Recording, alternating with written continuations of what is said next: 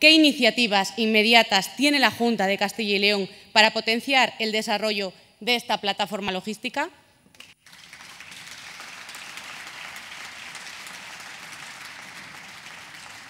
Gracias. Para contestar tiene la palabra el consejero de Fomento y Medio Ambiente, el señor Suárez Quiñones Fernández. Muchas gracias, eh, señor presidente. Pues bueno, señora Rubio García, la Junta siempre ha apoyado y eh, apoyará la plataforma intermodal de torneros grulleros.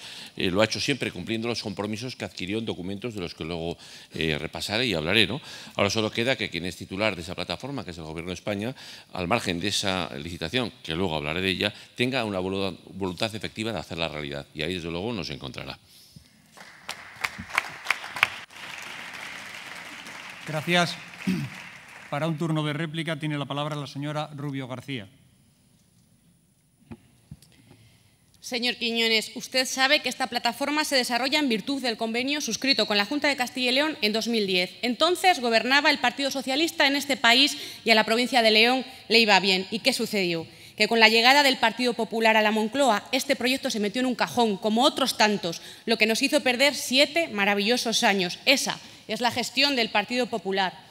Este pilar fundamental económico para León contará con 200 hectáreas en las que se instalarán alrededor de 350 empresas, lo que generará aproximadamente 3.000 puestos de trabajo en nuestra provincia, que será un punto estratégico para el corredor atlántico y que se convertirá en el centro logístico del noroeste de España. Nuevas oportunidades, que es lo que necesita nuestra tierra después de años de dejadez del Gobierno del Partido Popular en España y con la Junta de Castilla y León mirando hacia otro lado, muy ocupados en sus cosas, ya saben, perla negra, trama eólica, Gürtel, enredadera, usted lo sabe mejor que yo, ¿verdad?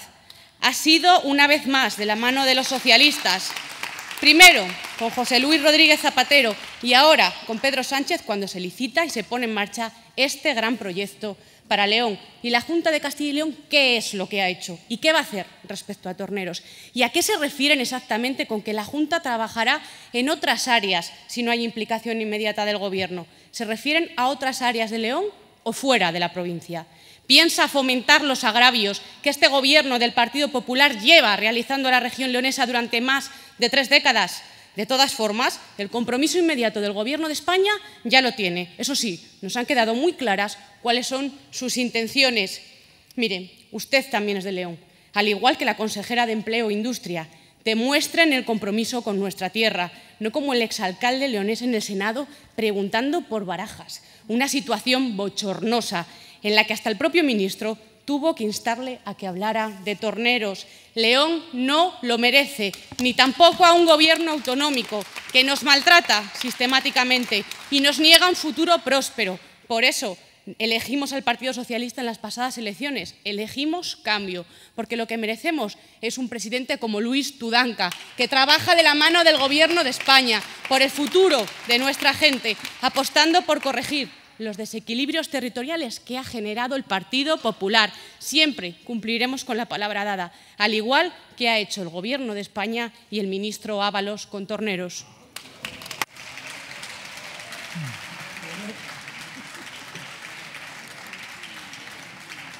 Gracias.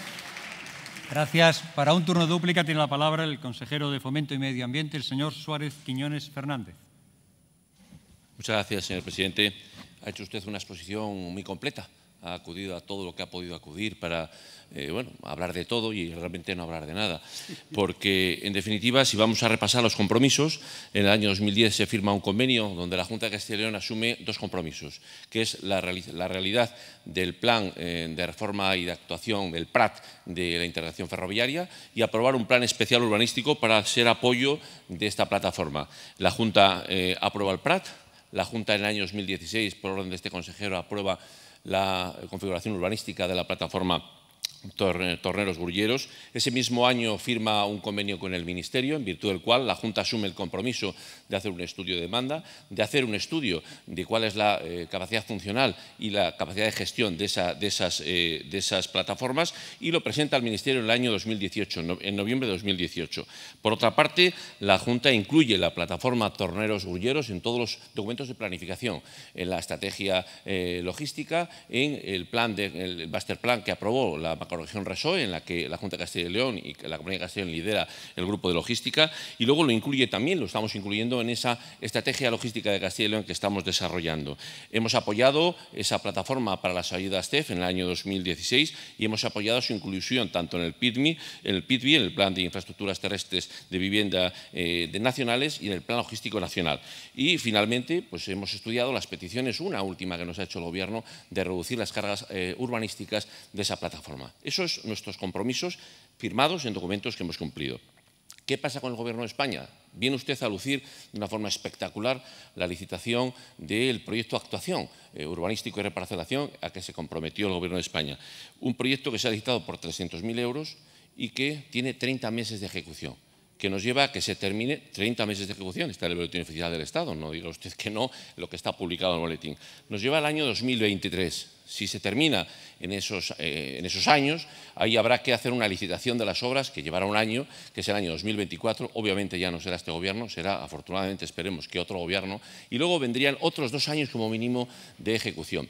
Y hay otra cuestión muy importante que ustedes ocultan o engañan. Eh, prefiero que sea, que sea lo primero más que lo segundo. Y es que eso afecta a ese plan que han licitado es de 144 hectáreas. Queda fuera el apartado ferroviario. Parece que lo que están licitando es un mero polígono logístico y por tanto no hay nada de la plataforma intermodal ferroviaria. Por lo tanto, creo que es una patada hacia adelante para pasar este proyecto de legislatura y no implicarse en nada, esperar a que otro gobierno, afortunadamente será otro, haga realidad esa infraestructura. Muchas gracias.